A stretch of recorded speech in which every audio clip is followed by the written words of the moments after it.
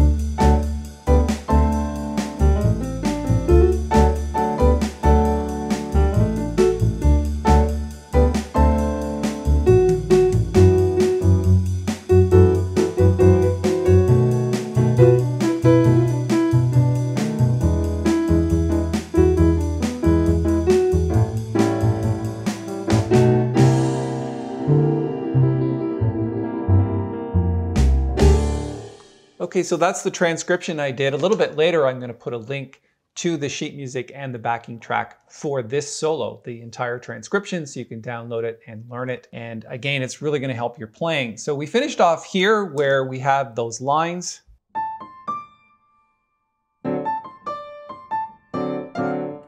And we take a little bit of a different tone here. So in the previous few bars, we there was a lot of rhythm and syncopation, but now we're going to add some more notes to that rhythm and syncopation. And it seems like in this section there is a lot of notes happening, but it's really not that difficult. So let's go from this bar here, which is the fourth bar of the top line. So let's start here.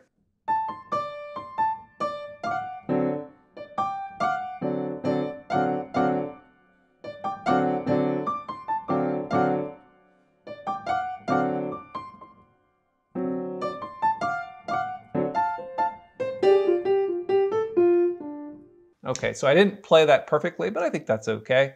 We'll get to it. One of the things you have to recognize here is you've got the F natural as the grace notes heading into those. And because you're playing the bottom note with your thumb, you have to catch that with your second finger and third finger like this.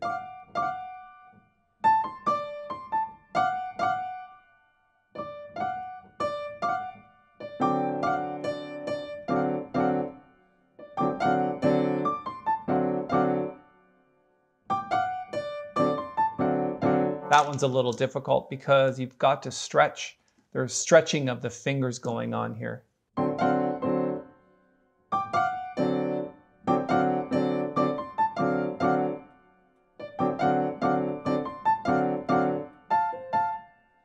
And there's a little change up here where you've got these three eighth notes here.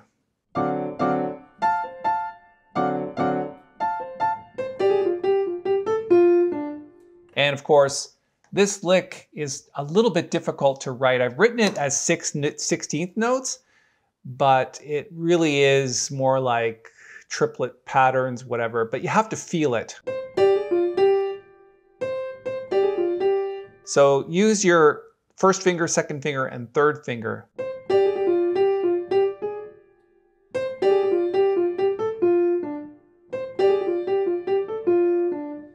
So the next line is a little bit tricky, this one here. Took me a few passes at that one myself, even after I transcribed it.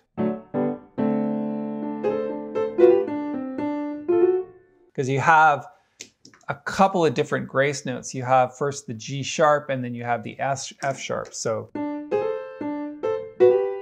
I would slide the third finger off on the F sharp and the G sharp.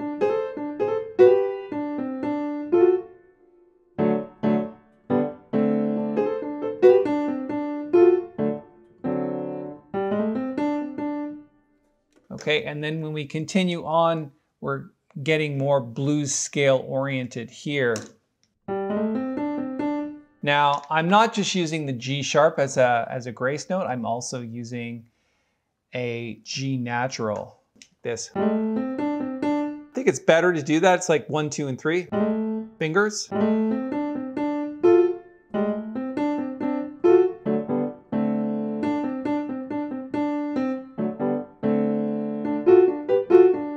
That's a neat one, this one right here.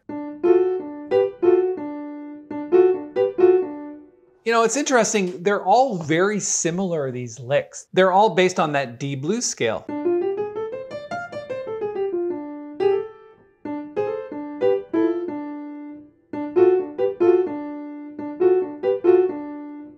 Okay, neat.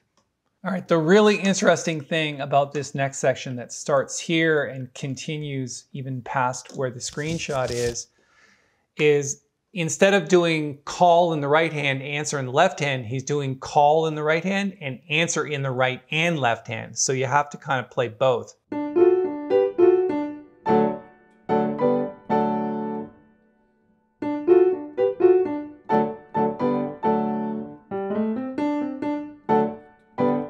So the right hand is bouncing back and forth between the call and the answer.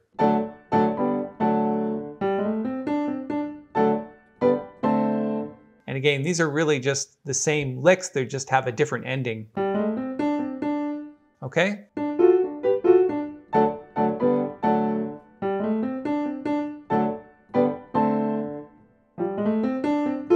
That one jumps a bit this one, which goes right up to the grace note on F and then the D triad, or the basically the third and the fifth of the triad.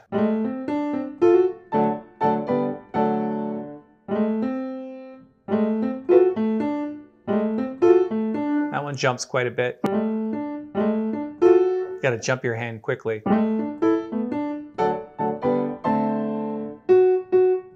Then it's getting into the bridge. Okay, so that's really the only thing to pay attention there is the fact that you're doing the call and the answer together with the right hand and the left hand is just doing the answers. Okay, kind of cool section. And then it jumps into the bridge and he does solo a little bit on the bridge at the beginning for the first four bars and then he just sticks to the melody for the last four bars. So it's uh, the F7 or F sharp 7 chord.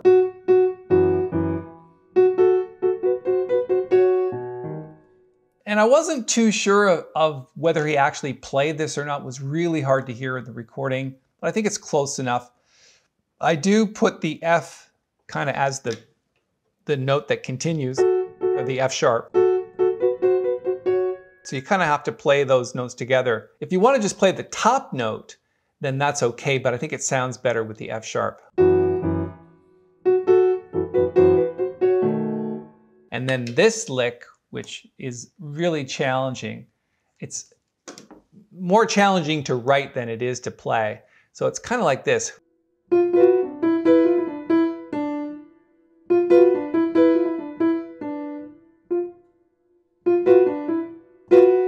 So kind of slide those notes.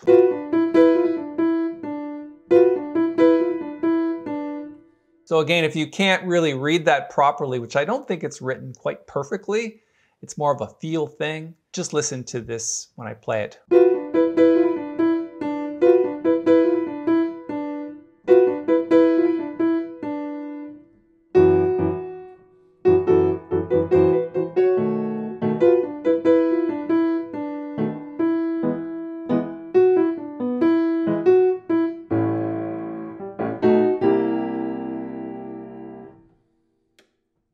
And that's pretty much all there is to that solo. If you have any questions about the different licks and you want to understand what's actually going on a little bit more, just point one out and I'll maybe give you some pointers on the fingerings to use for it and feel. Because again, that last one, it's really a totally a feel thing. So listen to it a few times and then try to pick it up when you download the recording. So let me uh, give you a link to the sheet music and the backing track that you can download and practice because the whole solo is there. I've written it out for you. As far as I know, I haven't ever seen anybody write this out. It may exist somewhere, but I've never found it. So I did it myself and I hope you enjoy learning it because it's really going to help you with your jazz and blues piano playing. If you like this video, give it a thumbs up and subscribe to the channel. And when you do subscribe, hit the little bell because you get notified of the new upcoming videos and we're posting videos like this all the time. So again, thanks for your time. I really appreciate it and we'll see you in another video. Take care.